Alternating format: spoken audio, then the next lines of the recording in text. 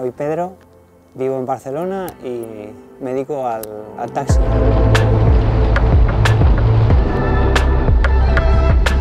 Mis aficiones, la primera de todas es ayudar a los demás. Por supuesto me gusta el deporte también, lo practico, pero el deporte me da más fuerza para servir a los demás.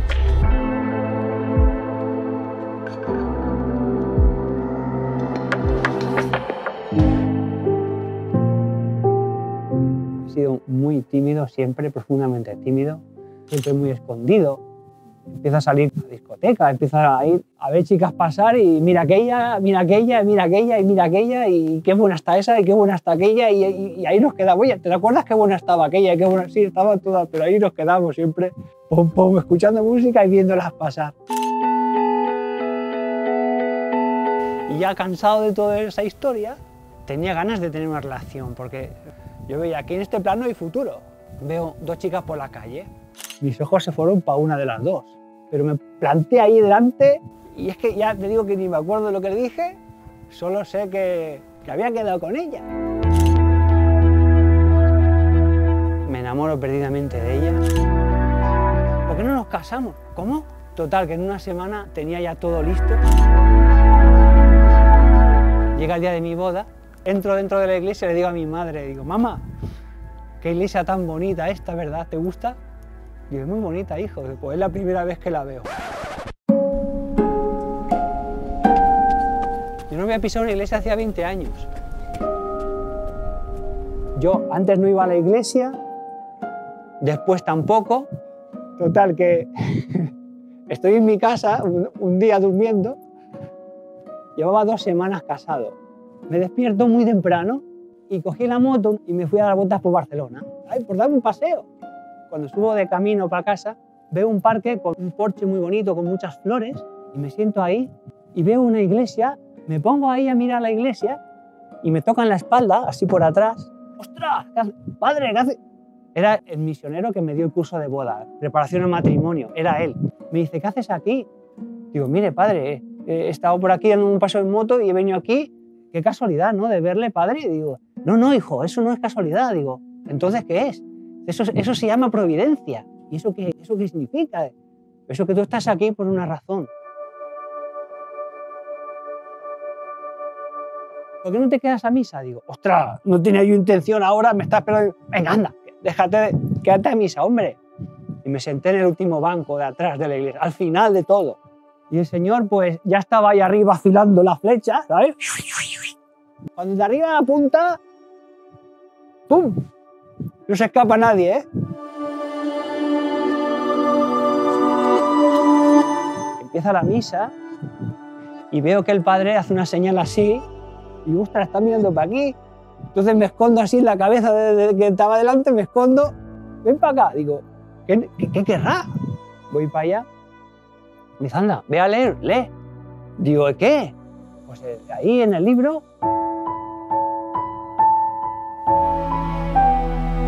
Quedé totalmente clavado, no podía leer. Yo le decía al padre, "Mm, no puedo, pero con el pensamiento, ¿no? Porque estaba clavado. Entonces me viene, me viene a la mente un pensamiento de mi niñez, cómo rezaba y le pedía a Dios, pues ayúdame en esto, en aquello otro, ¿no?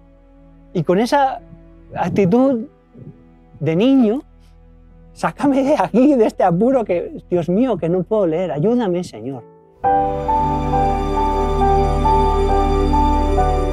¡Bum! Soltó la flecha rápido y sentí un, amor inmenso, inmenso en el corazón. Felicidad, paz, gozo, alegría, todo junto con una potencia increíble. Luego me fui a mi sitio, apoyé mi frente en el banco delantero y, y ya a partir de ahí ya fue ese amor bajando, pero dejando una estela de paz que no olvidaré en la vida. Digo yo, ¿cómo le explico yo esto que me ha sucedido a mi, a mi mujer? Nos casamos por tradición, pero tampoco practicábamos.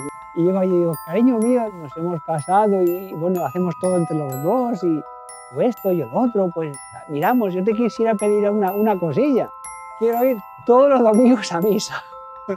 ¿Cómo? ¿Qué? ¿Qué dices? Y a partir de entonces, que no he fallado ningún domingo.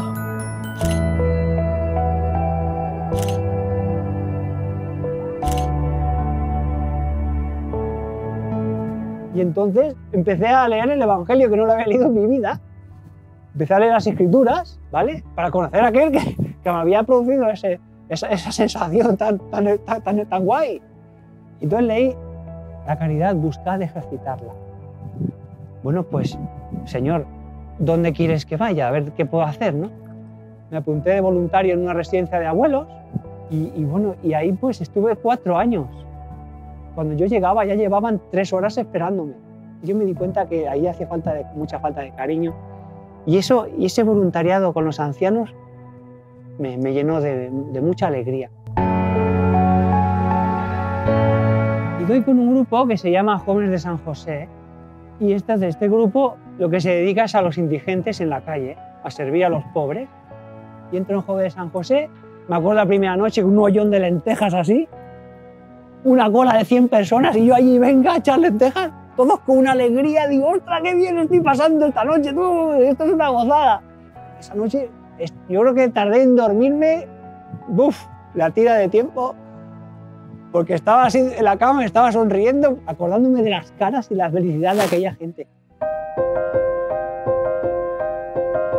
Señor, me encanta lo que hago. Trabajo de día en la construcción y de noche voy a los apostolados. Pero digo, Señor, yo, yo quise hacer otra cosa. Y entonces estoy trabajando en una obra y veo un taxi, ¿vale? Pasar por la obra y deja una silla de ruedas. Tengo una hermana discapacitada, le di un ictus. Digo, qué guay sería poder sacar a mi hermana, llevarla a la playa, llevarla aquí. O sea, yo pensando en mi hermana y, ostras, en esa obra los paletas se encuentran una imagen del corazón de Jesús que le faltaba un brazo. Digo, madre mía, el taxi adaptado, el corazón de Jesús que le falta un brazo, discapacitado. Veo demasiada coincidencia. Podía estar con enfermos durante el día y luego podía estar con los pobres durante la noche. Todo el día sirviendo. ¡Qué gozada! Y se ve que al Señor le gustó la idea. Vamos a buscar ahora a un chico a Badalona. Lo suelo llevar a un centro, es un taller donde ellos hacen pues, sus actividades, ¿no? Bueno, es como un niño. Los, casi todos los que, los que llevo en el coche, la gran mayoría, son, son como niños. Trabajar con ellos es el mejor regalo que Dios me ha dado. ¡Vamos al ataque, Miguel!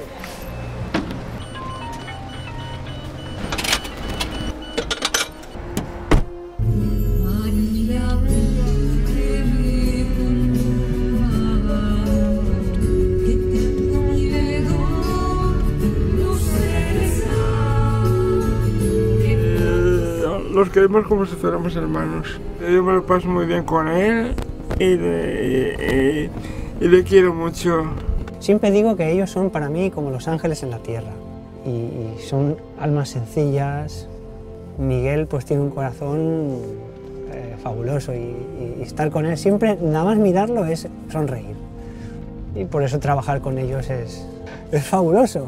Con ellos de, de día y con los pobres por la noche. No, no se puede pedir más. Bueno, ahora vamos a pasar por un, por un puente que duermen dos personas, un padre y un hijo. Ahí duerme el padre, ¿lo ves? Y ahí duerme el hijo, un poquito más adelante.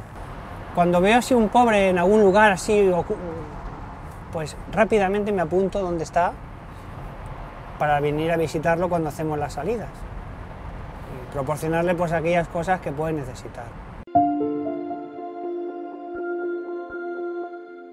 Yo no voy por ahí a la gente hablándoles así buenas a primeras de, de Dios ni... La gente entra en el taxi, por ejemplo, ¿vale? Sin que él se dé cuenta, yo lo miro y ya rezo un Padre Nuestro por él. Durante el camino, si esa persona me dice, ¡ay, qué virgen tan bonita lleva usted ahí en el volante! Esa es la señal. Entonces rápidamente, ¿qué hago? ¿Le gusta? Claro, está esperando a usted. Tenga, hoy se va a dormir a su casa. Y se la doy. Le doy un beso y digo, adiós madre. Lo que hago es eh, tirar semillas cuando Dios quiere que las tire. Tírala aquí una semilla, échala por allá, haz esto, da aquella estampa. Hay que dejar que Dios actúe. Si lo, lo hermoso es dejar que el Señor haga las cosas. Bueno, pues vamos a hacer una visita a un, a un enfermo. Este hombre le dio un ictus, ¿vale? Y vive solo con su mujer. Es un, es un cliente habitual de- de- del taxi que suelo llevar a, a recuperación. Vamos allá. Hola, José. ¿Cómo estás? Mira qué contento se ha puesto de golpe, ¿eh? ¡Qué sorpresa! Está emocionado. ¿Has emocionado? Se ha emocionado. Está emocionado.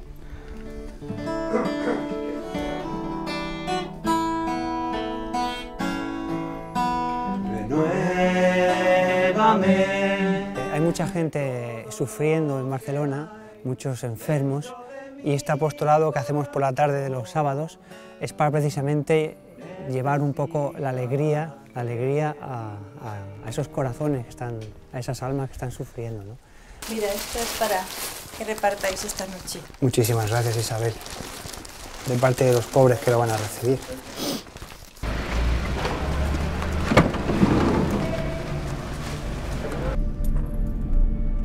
Vayamos a visitar a aquellos pobres que más lo necesiten. iremos al Hospital San Pau porque me llamó el otro día una persona diciendo que ahí había una- un, hombre que a lo mejor quiere salir de la calle. Luego iremos a, a la parroquia Santa Teresita del Niño Jesús, que también hay gente por ahí. Pedro es una persona que, que- que está ahí, eh, o sea, lo da todo por, por- por- por- los- las personas que están en la calle. Eh, los trata muy bien, como si fuera pues sus hermanos, ¿no? Siempre lleva sus cositas, las reparte, saca la mochila y dice, a ver, a ver lo que tenemos aquí, a ver, a ver lo que sale, la abre, mira, una bufanda, eh, un gorro, Sobre todo que te vean, que te vean alegre, que te vean, ostras, si, él- si él puede, ¿por qué yo no? ¿Verdad? Yo me levantaba por la mañana que decía, ¿para qué me levanto si es que no...? Y por la noche me acostaba y digo, mañana igual cojo una cuerda y me cuelgo. Ah, sí. Y ahora no, ahora soy feliz. Ahora soy feliz de verdad. Oye, es verdad. Increíble lo que hace. La labor de Pedro es alegría, pura alegría. Sí, sí, sí. Pedro eh, es un tío, o sea, diría que es un tío 10. Bueno, yo soy de Guinea Conakry, me llamo Khalil y la verdad hoy estoy bien, eh, tengo mi trabajo y además dentro de poco eh, estoy planificando unos proyectos para crear una empresa de energía solar en mi país para poder ayudar a más gente y estoy muy, muy, muy alegre con Pedro porque es un tío que ha estado a mi lado en cada momento que hacía falta. Si ves a un hermano tirado en la calle o en un cartón o que se ha meado encima, está sufriendo ahí y hay que cambiarle los pantalones, hay que limpiarlo, hay que arreglarle la cama o el cartón, buscarle otra cosa, pero hay que ayudarle. Es llevarles esperanza, ilusión, ganas de vivir, amor. Eso es lo que necesitan para salir de la calle. Han salido ya un montón de la calle. Pero primero hay que romper esa espiral de, sentirse que no valen para nada. Son muy amados de Dios y hay que demostrarle que son hermanos. Pues hay que quererle y hay que abrazarle. El amor de Dios es el que os saca de aquí.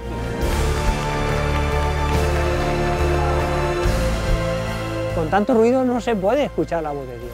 Hay que apartarse un poco del ruido, dedicar tiempo, este tiempo, Señor, para ti, para conocer tu voluntad y pedírselo cada día. Señor, hoy qué quieres que haga? ¿A dónde, a dónde me llevas hoy? Porque todos tenemos una misión que cumplir. Tú imagínate el Señor sonriendo de haber cumplido algo que Él quería para ti. ¡Qué felicidad! Alegrar a tu Creador. Si Él es pura felicidad, pura alegría, ¿qué no te va a dar entonces a ti? Participar de su misma, de su misma felicidad.